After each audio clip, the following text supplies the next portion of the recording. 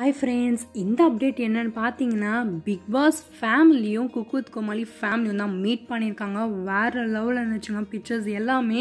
So இந்த pictures எல்லாமே social மீடியாவில் ரொம்பவே வைரலாக போயிட்டுருக்கு வாங்க பார்க்கலாம். ஃபர்ஸ்ட் இந்த பிக்சர் பார்த்தீங்கன்னா அஸ்வினும் நம்ம சுரேஷ் தாத்தாவும் ரெண்டு பேரும் சேர்ந்து தான் இந்த பிக்சரை எடுத்திருக்காங்க.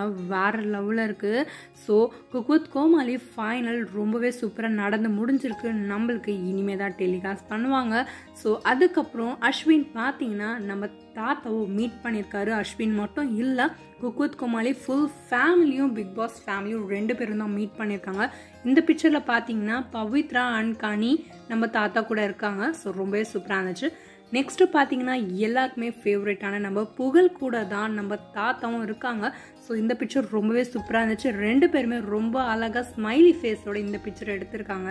பார்க்கும் போதே அவ்வளோ சூப்பராக இருந்துச்சு இந்த பிக்சர் நெக்ஸ்ட்டு பார்த்தீங்கன்னா நம்ம தாத்தா பவித்ரா அப்புறம் பார்த்தீங்கன்னா ரேகா மேம் மூணு பேரும் தான் சேர்ந்து எடுத்திருக்காங்க இந்த பிக்சரை இந்த பிக்சர் பார்த்தீங்கன்னா நம்ம ஷக்கில் அம்மாவும் தாத்தாவும் ரெண்டு பேரும் சேர்ந்து எடுத்திருக்காங்க. ரொம்பவே சூப்பராக இருந்துச்சு. நெக்ஸ்ட் இந்த பிக்சர் பார்த்தீங்கன்னா எப்பவுமே இவங்க ரெண்டு பேரும் செல்ஃபி எடுக்காமல் இருக்கவே மாட்டாங்க.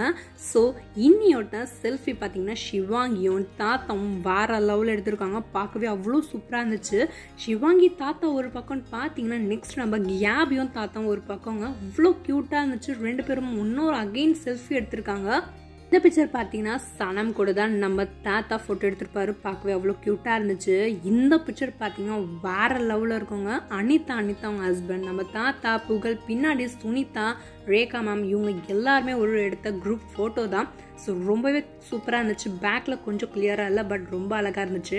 பிக்சரில் பார்த்தீங்கன்னா நம்ம தர்ஷாவும் ரித்விகாவும் தாங்க இருப்பாங்க. அவ்வளோ க்யூட்டாக இருந்துச்சு மிடில் ஸோ ரொம்பவே சூப்பராக இருந்துச்சு. குக்குத் கோமாளி ஃபேமிலியும் பிக் பாஸ் ஃபேமிலியும் மீட் பண்ணியிருக்காங்கன்னு மட்டும் நல்லாவே தெரியுது. ஸோ எங்கே மீட் பண்ணியிருக்காங்க தான் தெரியல. பட் எல்லா பிக்சர்ஸுமே அவ்வளோ க்யூட்டாக இருந்துச்சு. இதில் ஹைலைட்டான ஃபோட்டோஸ் பார்த்தீங்கன்னா சக்கரவர்த்தி தாத்தாவும் ஷக்கிலா மாவும் எடுத்ததும். நெக்ஸ்ட்டு பார்த்தீங்கன்னா நம்ம புகழும் தாத்தாவும் எடுத்ததும். அஸ்வினும் தாத்தா எடுத்த பிக்சர்ஸ் எல்லாமே இல்லை ஹைலைட்டான பிக்சர்ஸ் சொல்லலாம் அவ்வளோ க்யூட்டாக இருந்துச்சு. க்யூட்னஸ் ஓவர்லோடாக இருந்துச்சுன்னு கண்டிப்பாக சொல்லலாம்.